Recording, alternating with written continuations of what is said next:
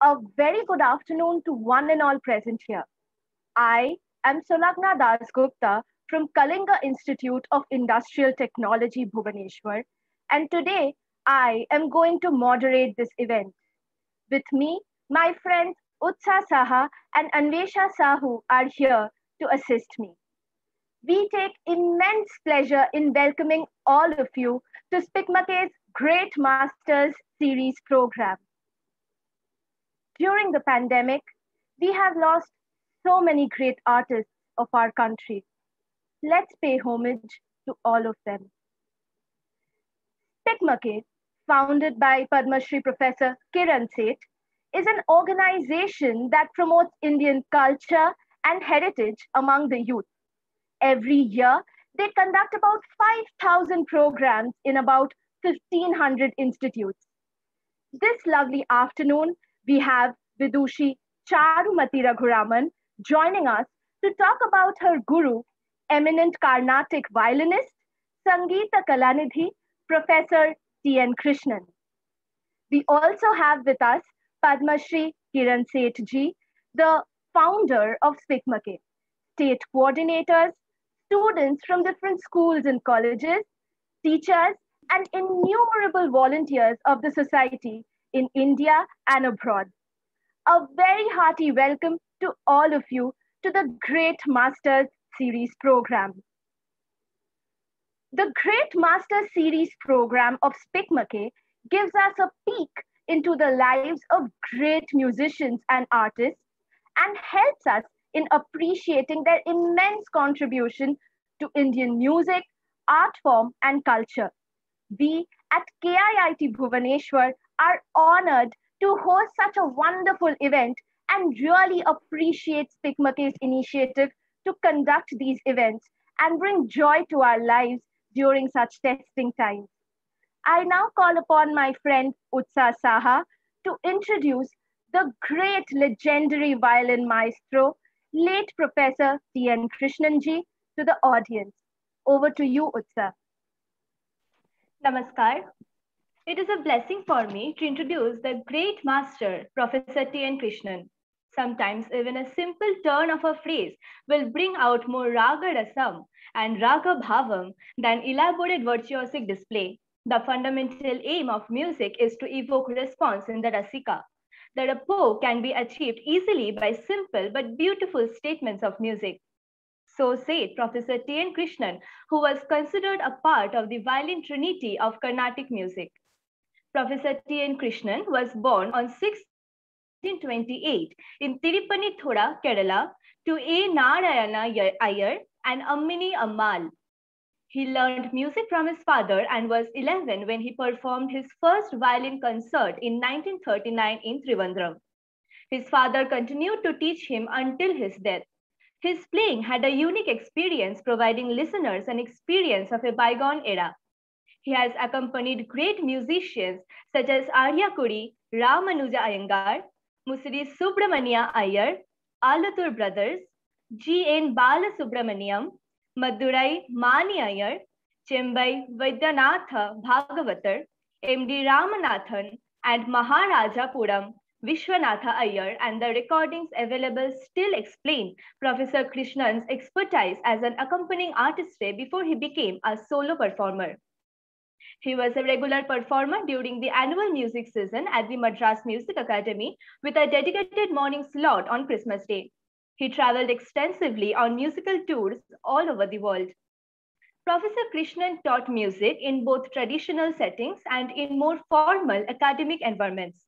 Among his students were his daughter, Srimati Viji Krishnan Natarajan, his son, Sri Sriram Krishnan, and Vidushi Charumathi Raghuraman, who has joined us as our speaker today. He was a professor of music at Chennai Music College and later went on to be the principal at the college. He was also the dean of the School of Music and Fine Arts at the University of Delhi. He had served as the vice chairman of the Sangeeta Natak Academy between 1991 and 1993. For his contribution to the field of Carnatic classical music, he was a recipient of many awards such as Sangita Kalanidhi by the Madras Music Academy, Padma Bhushan and Padma Shri Award, Government of India, Sangeet Natak Academy Award for Carnatic Music, and many others. In the words of biographer Sri Lalitha Ram, some of the most exhilarating moments in his concerts were not necessarily from the elaborate renditions. His short essays before kritis would create a profound impact that can last a lifetime. His raga alapana, which would last for a mere two minutes, created an illusion that there was nothing more left in the raga to explore. The tonal purity of Professor Krishnan's playing and the pristine beauty in the musical melodies he conjured were similar to the experiences listed above. It is that higher level of expression which enables the artist to naturally manifest phrases with befitting aesthetic dynamics. For his enormous contribution to the field of Indian classical music, he will always be remembered forever. Thank you. Words would surely fall short to measure up to the maestro's great contributions. Thank you so much, Utsa, for that befitting introduction. I now call upon Anvesha to introduce Srimati Charumathi Raghuraman to the audience. Over to you, Anvesha. Thank you, Sulagnadi. Namaskar, ma'am. Vidushi Charumathi Raghuraman is a young and talented violin artist in the Carnatic South Indian music tradition. A precocious talent, she started learning first from her mother, Srimati Rama Raghuraman, then continued formalized training with respected guru Srimati T.R. Balamani in Mumbai, and soon thereafter, at the suggestion of the iconic violinist of South India, Padma Bhushan, Professor T.N. Krishnan, she became his ardent disciple in 1995. She also studied Carnatic vocal music with the renowned teacher Padma Bhushan, Sri P.S. Narayana. She played her debut concert alongside Professor T.N. Krishnan in 1998, and since then has been performing regularly, both as a soloist and accompanist. The salient features of her musicianship include the rare combination of pure sound and erudite content. She not only excels in the instrumental technique of the violin, but is equally adept in reproducing vocal nuances mellifluously. She was awarded the CCRT Government of India Scholarship at the age of 10. She is the recipient of many awards. Some of the notable ones include the Young Achiever Award from Rotary Club, the Outstanding Young Violinist Award in 2007 and 8, and the Best Violinist Award many times from the Music Academy Madras and various other institutions. She is an A-grade artist of the All India Radio and Doordarshan. Vidushi Charumathi has traveled widely across India to perform in prestigious music festivals and institutions over the last 15 years, including USA, UK, Europe, Australia, and Singapore. She holds a master's degree in business administration from Xavier Institute. With this, on behalf of the entire team of Picnic, welcome, ma'am. Thank you so much, Anvesha. I now request Charumathi ma'am to take us through her experiences with Professor T.N. Krishnanji. Over to you, ma'am.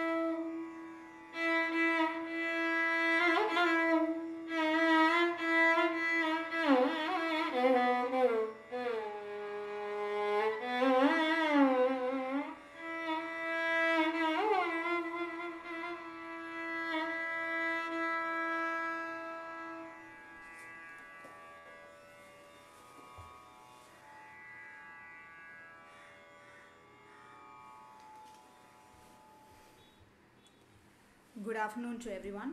Namaskar. I consider it my privilege to say a few words about my guru, Padma Bhushan Professor T. N. Krishnan sir. And I would really like to take this opportunity to thank SPIC MACAY and KIIT Bhubaneswar for the lovely introduction.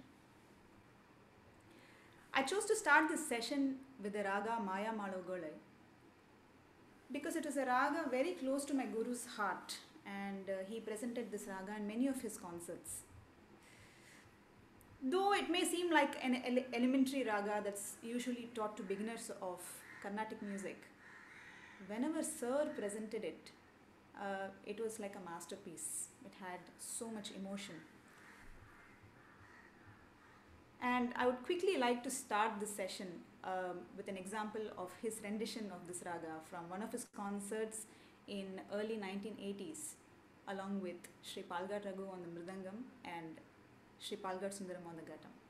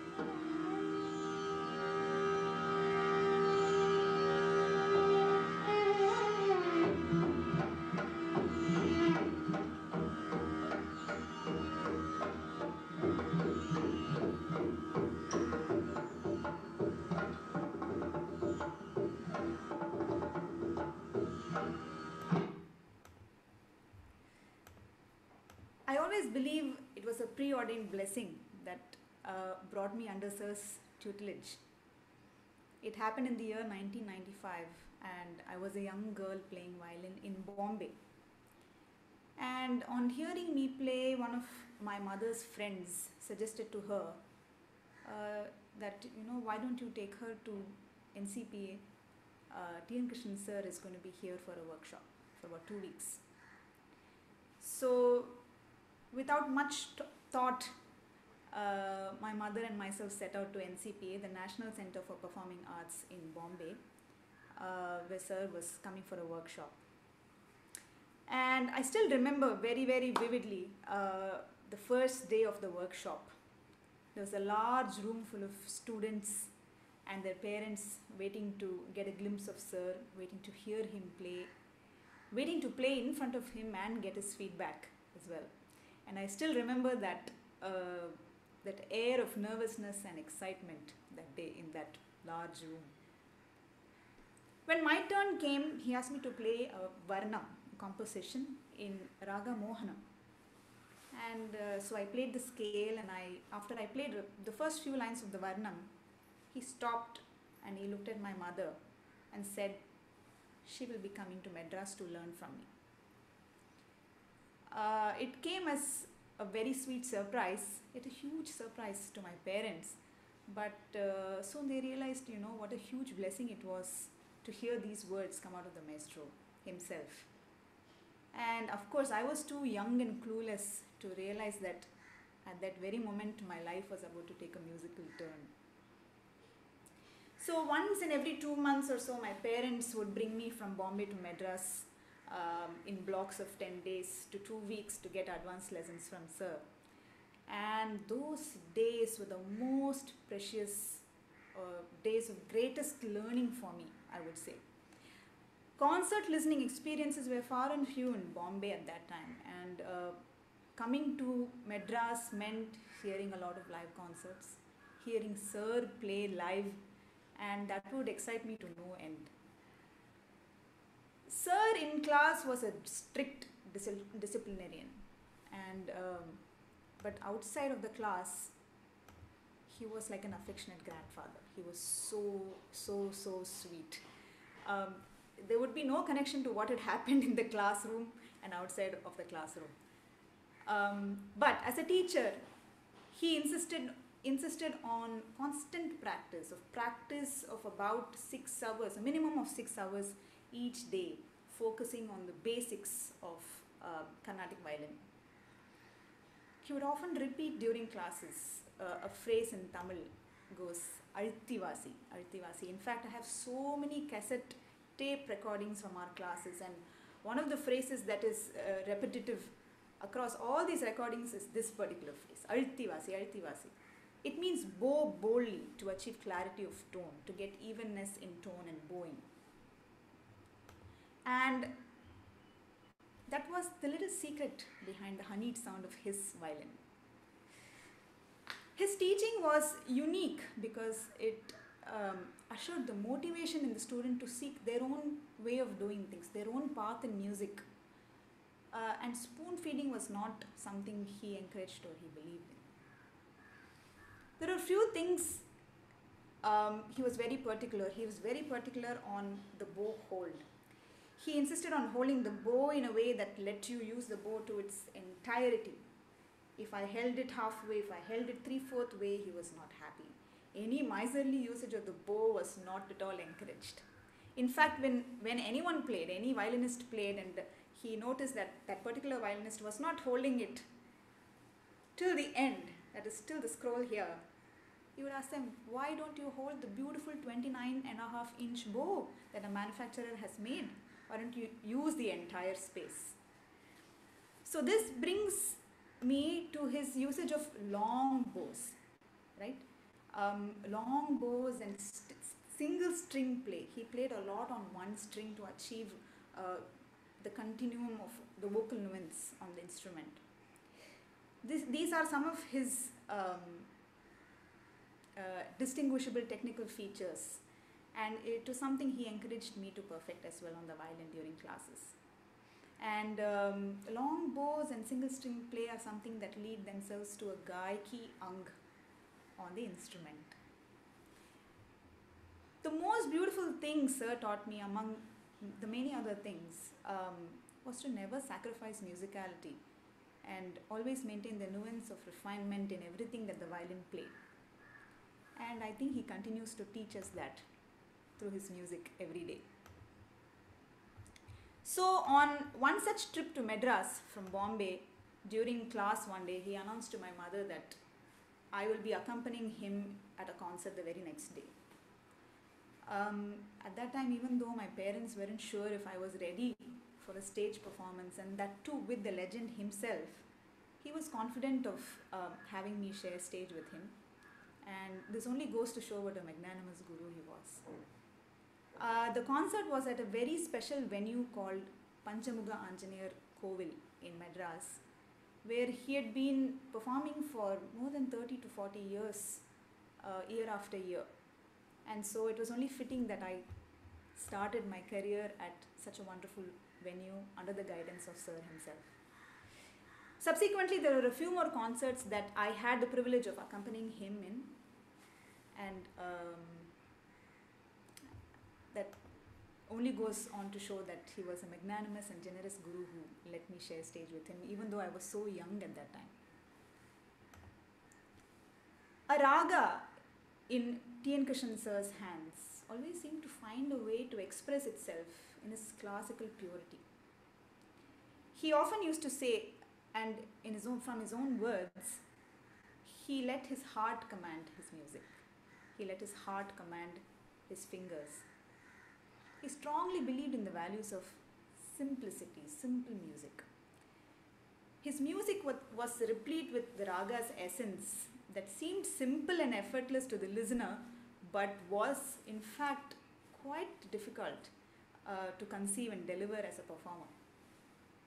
And especially his ragas, his rendition of ragas like uh, Yadukula Kamboji, Suruti, Todi, Bilahari, Sindhu Bhairavi, etc. Be it uh, Rakti ragas, be it heavy Carnatic classical ragas or the, the ragas with lighter shades, they created an indelible mark on Carnatic music, I would say.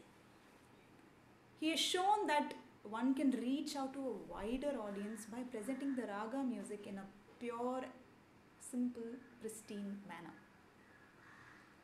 The hallmark of his music and concerts, both as an accompanist and I would say, especially as a soloist, was the fact that he found that uh, the perfect balance between the intellectual realm and the intuitive realm. And sometimes I, I think he would deliberately tip the scale to the intuitive, which I think gave his music a more personalized and emotional quotient.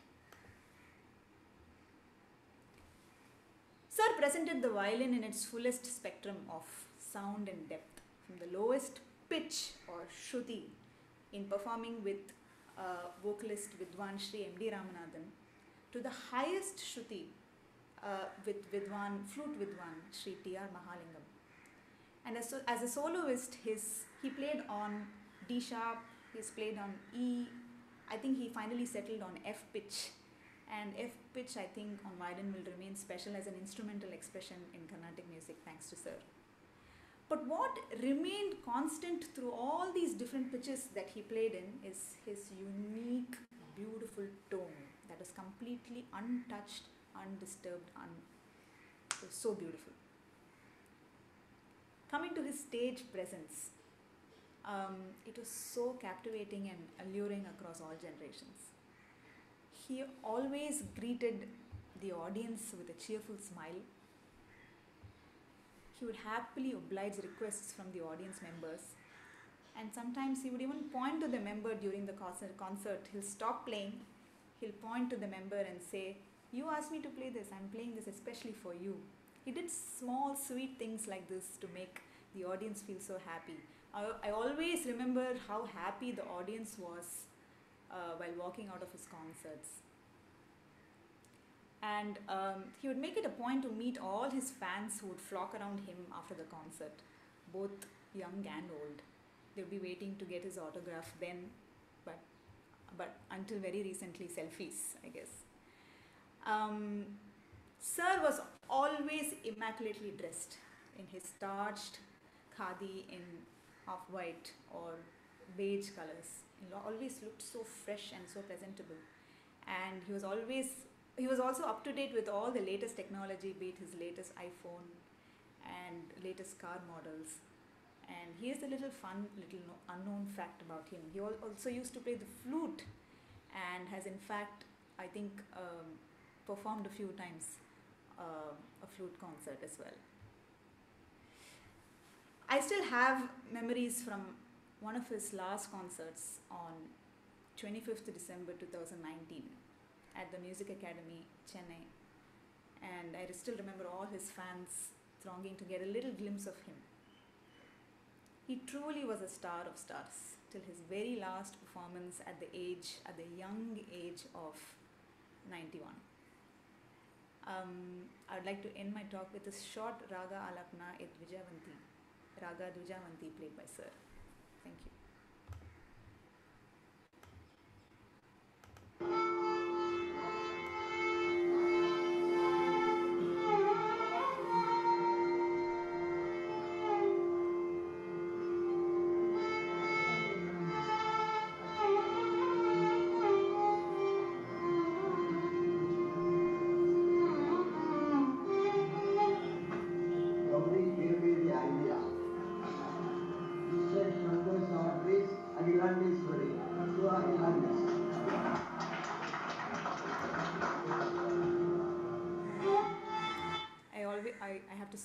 Quickly say that he was so happy go lucky, so jovial.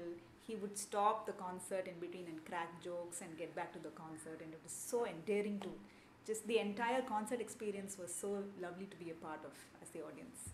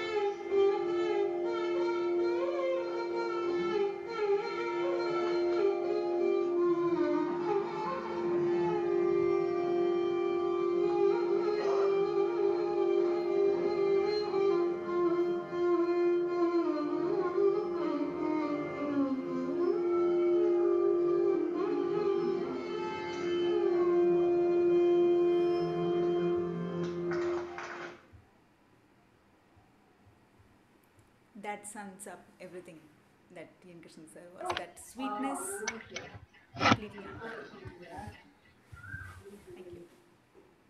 Thank you. So much, ma'am, for painting a vivid imagery of your unique experiences. The way you described, it sure resonated with our audience and left a smile on all our faces. Now, we have a little interactive session with Charumathi, ma'am. We have a few students who have been eagerly waiting to ask you their questions. But before them, I have something that I would like to ask you, ma'am. Professor T.N. Krishnan, as your teacher, has had a large influence on your playing. Which aspect of your playing do you feel comes closest to that of your guru?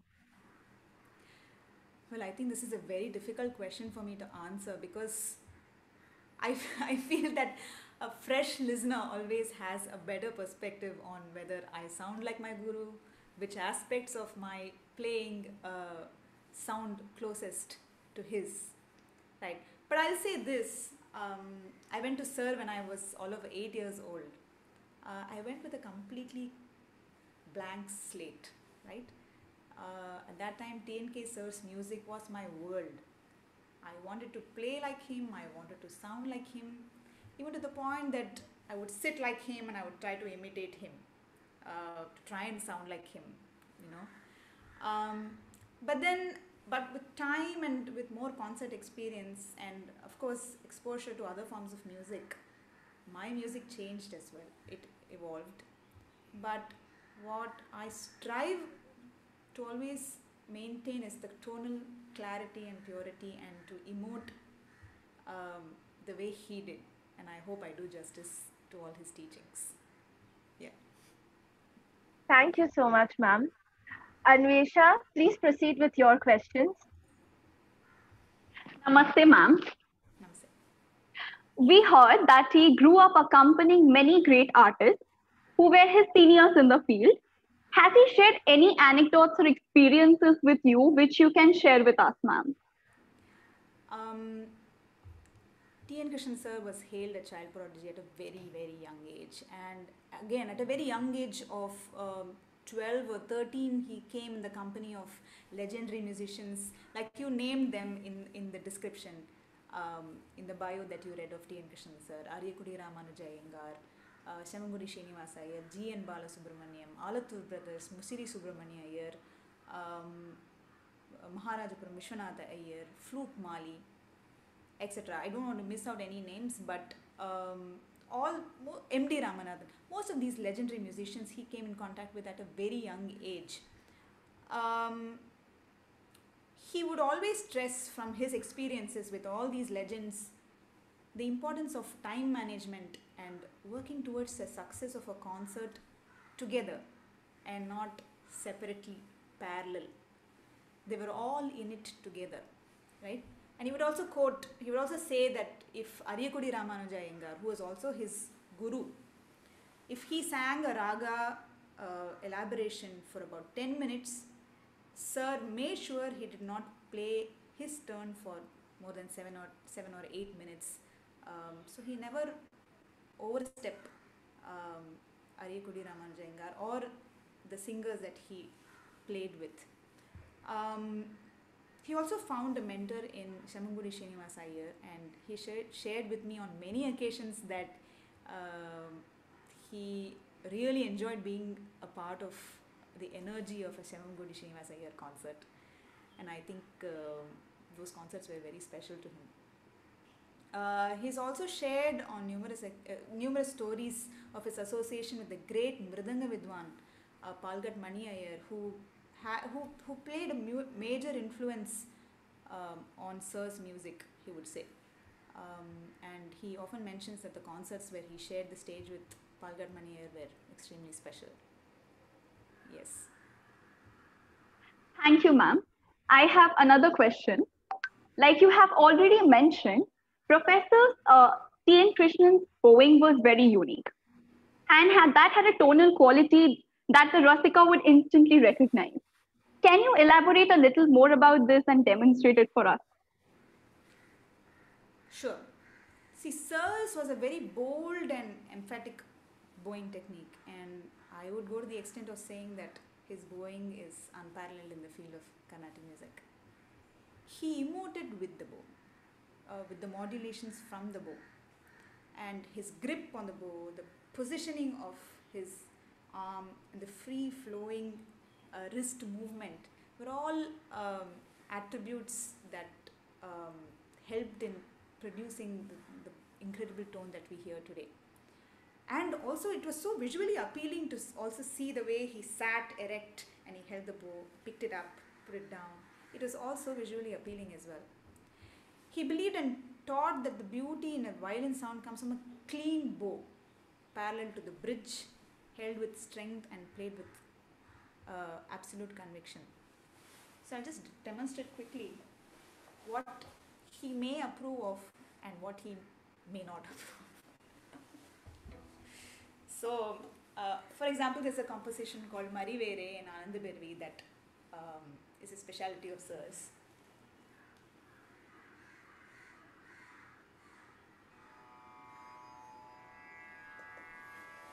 So if I play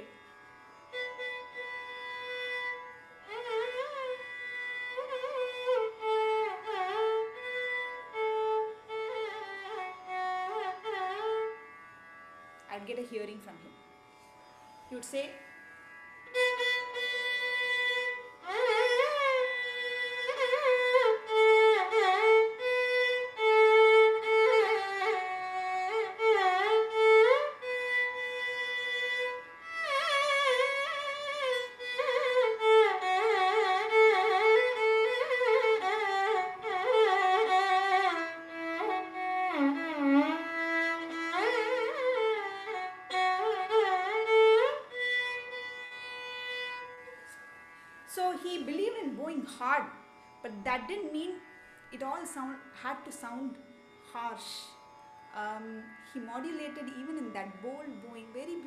bringing out.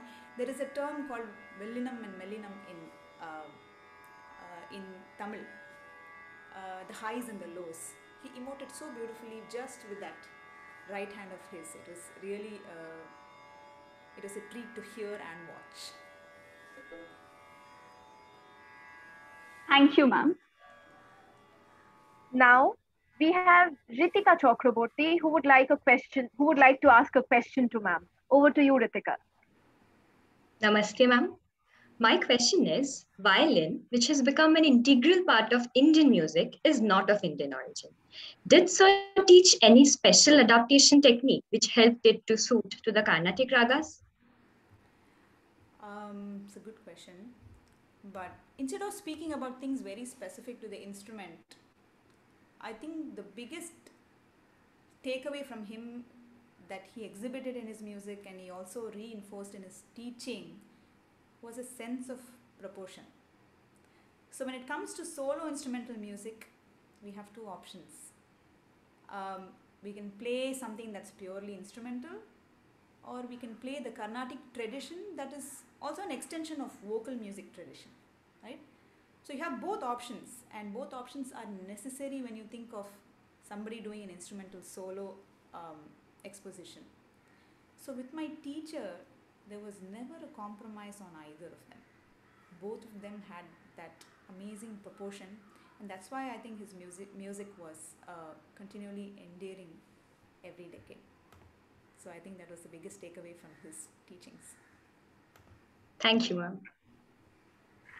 I believe Utsa has been waiting her turn to ask questions to ma'am. Over to you, Utsa. Namaste, ma'am. Namaste. Uh, has Professor Krishnan attended your concert? If yes, can you please share how you felt about it and what he said about it?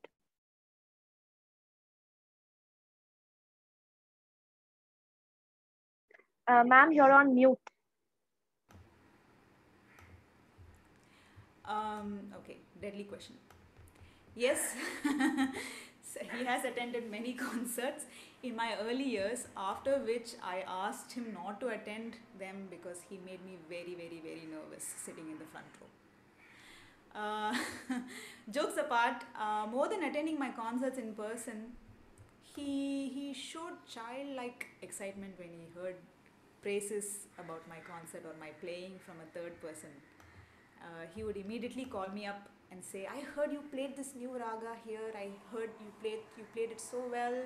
I heard from X and Y. You know, tell me all about it. I want to hear all about it." So, I mean, he was very interested in knowing where I was playing, with who I was playing, uh, how many concerts I had during the music season.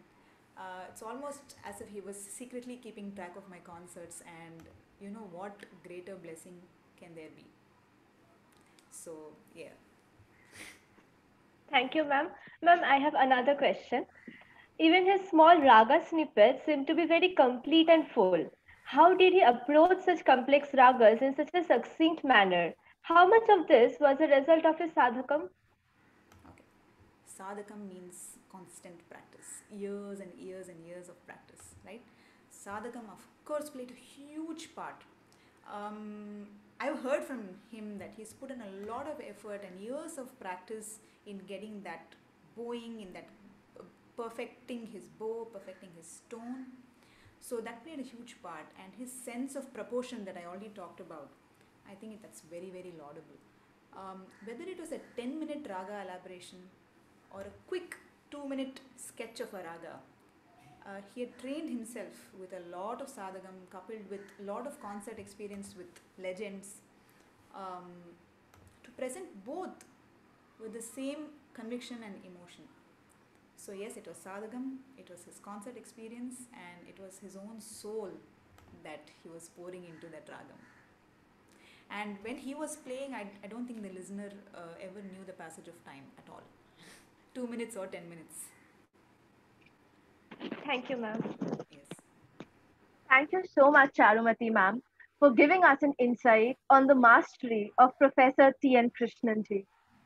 Now, it is a request to all of you, our audience, to listen calm and quietly and see the great master perform. We will now listen to his renditions. Kindly put your mics on mute. Over to the technical team.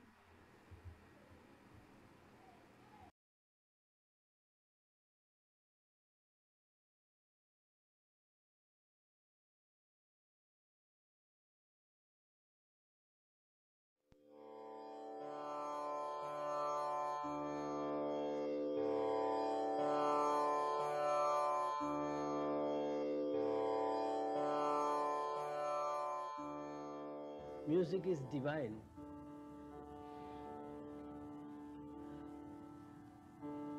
Most of the things, there are many common aspects like uh, ragas, talas or talams, compositions,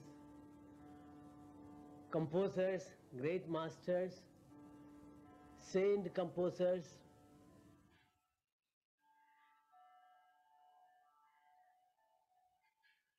And whether it is Hindustani or Carnatic, it helps us to realize or experience that it is rather easy to see God through music than any other thing. So it is not mere entertainment, whether it is music or dance or religion, whatever it is.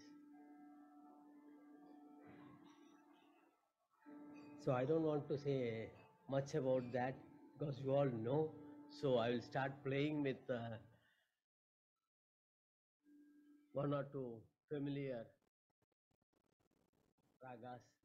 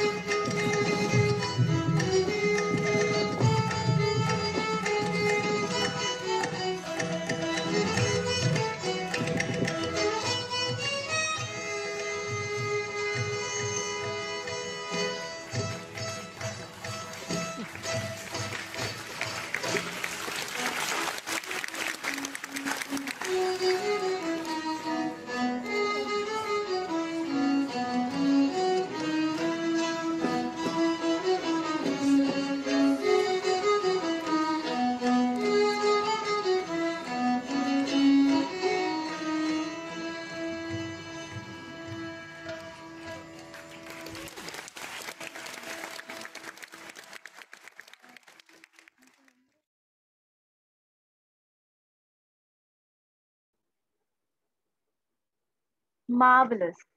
I guess that is the word that can truly define what we just witnessed. This enrapturing video presentation only re-established what a great artist Professor T.N. Krishnan was.